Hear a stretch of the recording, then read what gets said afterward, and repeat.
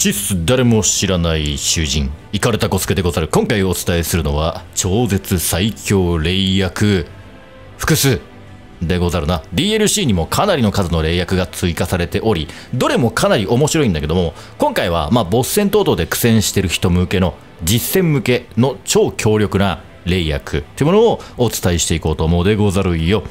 面白いよ。まあでもすごい面白いのは今回はまた紹介しないけど。強いやって紹介していきます。さて DLC で最もやばいかなと思っているのがこちら吸血の割れ雫。霊薬に配合し攻撃力を高めるが HP が減り続ける。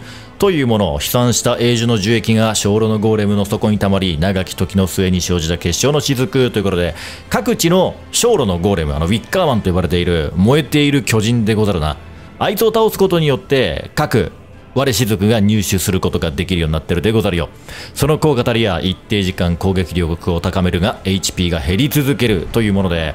で効果時間がかなり長く。でえその代わりね HP の減りも結構激しいんでござるよ。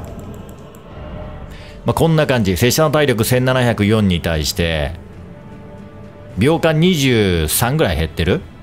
なんかポコポコって減る時もあるんで多分割合で減っていると思うでござるよ。ゲージで見るとねほっとくといつの間にか半分ぐらいは減ってそうな感じ。がしかしそのデメリットに見合った性能をしている。いや性能単体で見ればねそこまでじゃないんだけど攻撃力全般祈祷魔術も含めて1.2倍にするというものでござるよ。バフをかけてた人たちにとってはどういうことかわかるでござるな。バフをかけにかけてめちゃくちゃ火力を上げていたんだけども霊薬によってさらに1.2倍上げられてしまうと。当然属性単体であればこの属性系の割れ雫1.2倍でござったかね。こいつとも火力を相互に上げられるし、まあ、これでござるな。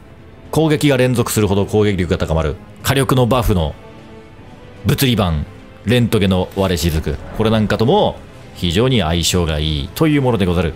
デメリットはあるけども瞬間的に敵との決着をつけるのであれば連撃系の武器にとっては非常に強力なものになるでござるね。ボス残しておけばよかった。どこのボスももうおらんでござるよ。今までのバフ黄金樹に誓っていてお前そこち行ったんかい。そしてしゃぶりりの叫び。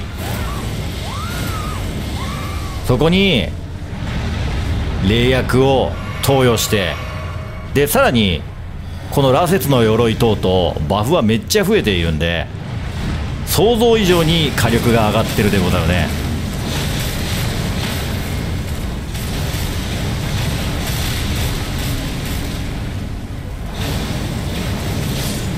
ゴーレンもこの通り影の地でね永住で強化されたダメージを見ていると若干実感が湧かないかもしれんでござるがありえない火力が出てるんでござるよ。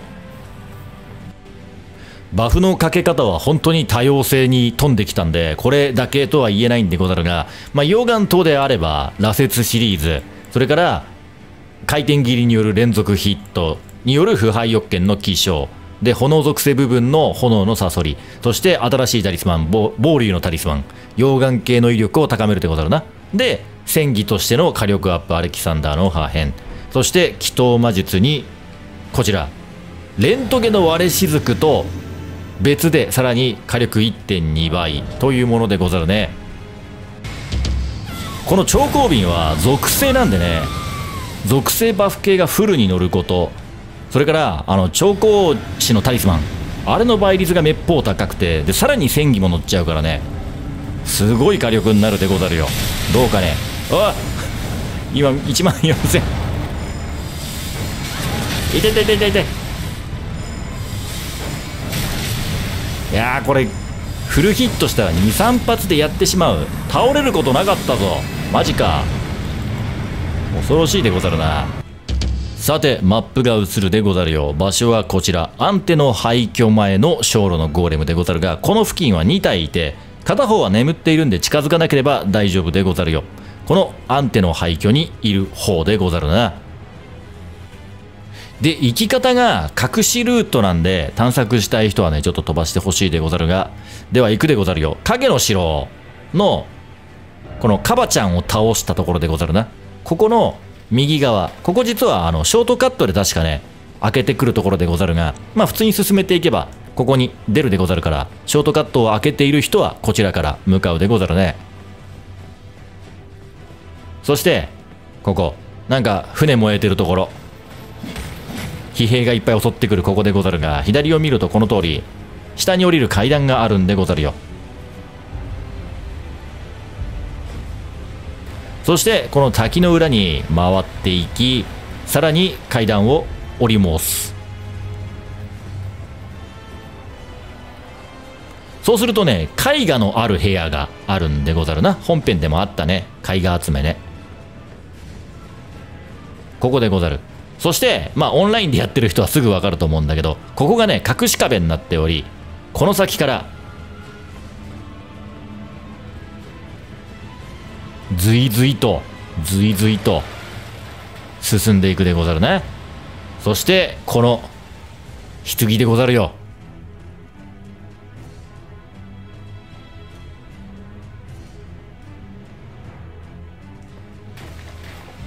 まさに DLC のね超隠しルートって感じでござろうか。そうするとこちら。安定廃墟前の影のアルターに到着し。お？あ違うか。こいつら倒したやつじゃないね。びっくりした。破壊された小炉のゴーレムがいっぱい転がってるんでござるな。あの入り口を塞ぐように座り込んでいるゴーレムでござるよ。そして何を隠そう。その小炉のゴーレムの隣にいるゴーレムから落ちる油切った雫。霊薬に配合し周囲に油をまくというものでござるな。一定時間油汗を飛び散らせ周囲の敵を油まみれにする。汗だったのが。やば。油まみれになった敵に対しては炎ダメージが大きくなるんだけどこいつの恐ろしいところはその効力とそれから効果でござるね。はい使うとこんな感じ。自分から汗を滴らせるんだけどなんとこれ近づくことで相手に油まみれを与える。というものなんでござるな。で1回燃やすと効果が切れるんだけどもう1回近づくことで油まみれになる。で効果時間はねそんな長くないんでござるが自分から汗が出てる間どんぐらいだろうね。30秒ぐらいかな。何回でも相手を油まみれにできるというものでござるな。そしてこの油まみれという非常にニッチな状態以上でござるがもともとある油壺の方が30秒間炎カット率マイナス50%そう相手の炎カット率をマイナス50%にするものなんでござるな。なんで炎が効きにくい相手でも炎が効きやすくなるというものでござるよ。すなわち近距離戦であれば相手を油まみれにしながら効果力を叩き込むことができるというものでござるね。そして全て略奪の炎に帰ってくるというのがこの2つの割れ雫のやばいところでござるな。そうなんでござるよ。冒涜の政権が最もこの2つをうまく使うことができる。DLC に入った後にこの暴竜のタリスマンを手に入れると略奪の炎の威力が1.15倍になりますよっていう話をしたでござるなまあ略奪の炎というかね、冒涜の政権を DLC 前におすすめした身としてはね、この辺を強く押していきたいでござるが、そうなんでござる。1.2倍のデメリットたるダメージ量を略奪の炎で回復しつつ、で、大型のボスなんかであれば密着して攻撃することが多いと思うんだけども、その時に相手を油まみれにして、ダメージ量を超絶上げてくれるというものなんでござるな。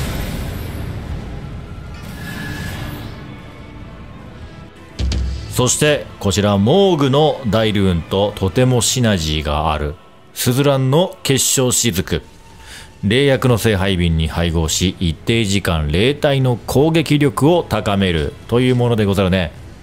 特に今回ボス戦では位牌にお世話になる人がいると思うでござるがその霊体の攻撃力を1.2倍ぐらいかな。まあちょっとわかんない。1.15倍とかかもしれんでござるがその程度でござるが上げてくれるというものでござるねさて、モーグの大ルーンについても簡単に補足でござるな。モーグの大ルーン、恩恵により召喚した霊体に血の祝福を与える。また侵入時に大ルーンの幻影を入手するというものでござるよ。あんまりこの大ルーン使ってない人も多いと思うんだけども、DLC に入るときに倒したモーグというボス、でござるな。あいつが持っていた大ルーンなんだけども、真珠島に受け取りに行かないと使うことができないんで要注意でござるよ。で、この大ルーン使うことによって、霊体を召喚した時に血の祝福を与えるっていうものなんだけども、効果はどんなものかっていうと、その霊体の近くで出血が起きると、その霊体の攻撃力が1.2倍。で、敵を倒した時にプレイヤーの体力が10%回復というものなんでござるな。で、大ルーン自体はね、この祝福で付け替えることができるでござるよ。そして、こいつをつけた状態で、このルーンの子っていうアイテムを使うことで、一回死ぬまで永続でござるな。この大ルーンの効果っていうものを受け続けることができるというもんでござるよ。なのでね、この霊薬と合わせることにより、まず3分間攻撃力1.2倍だか1.15倍だかでござるな。そしてもう大ルーンは使われているんで出血させるだけなんだけども、あ、アイテムを制作していなかった。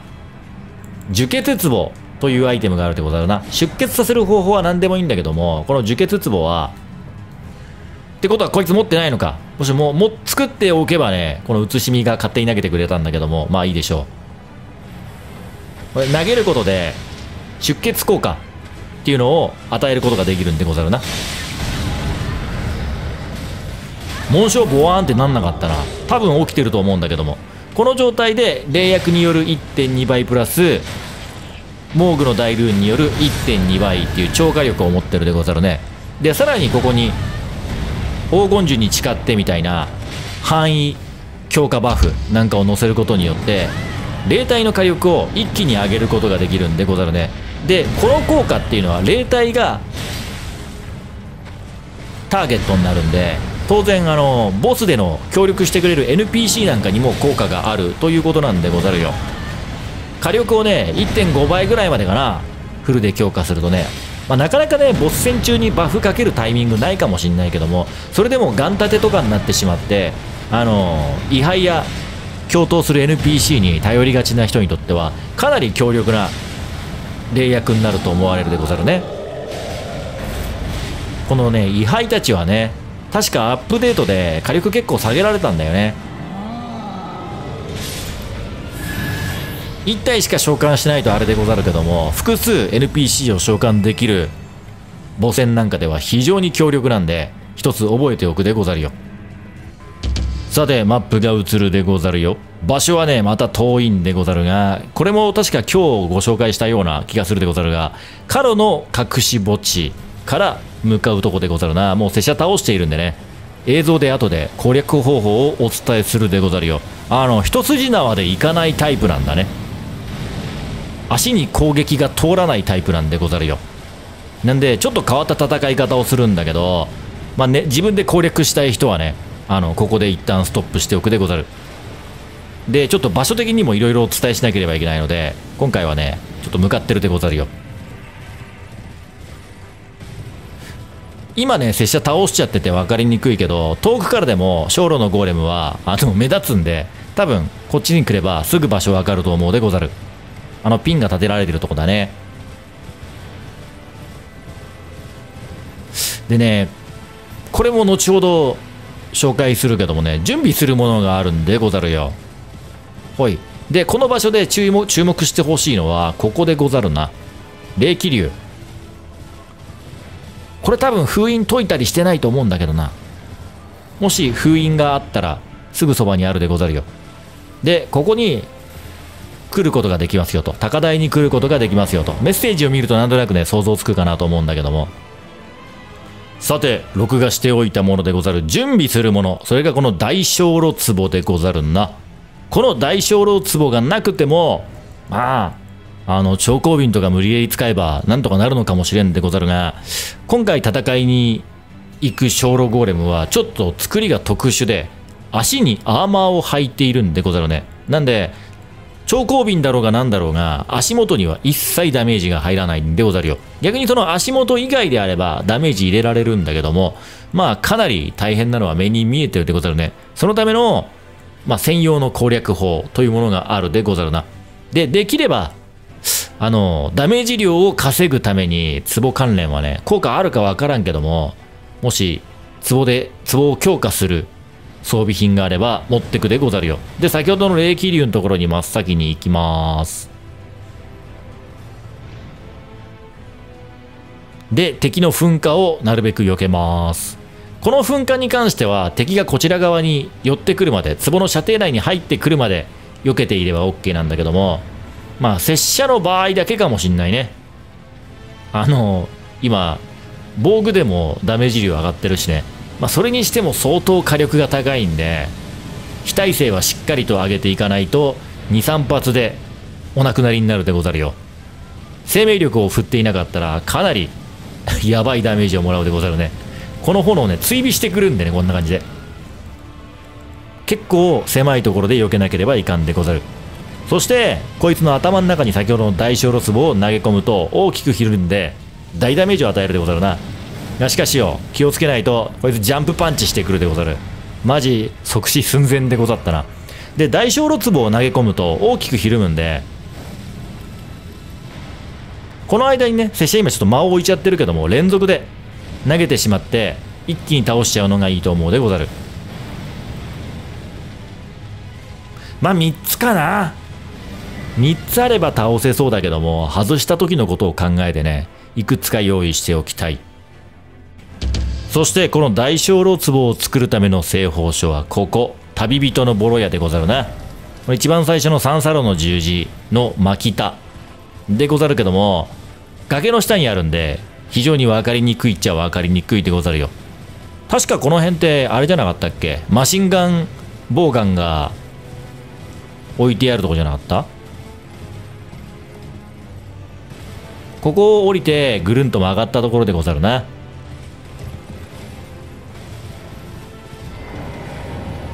ここ覚えておくでござるよ。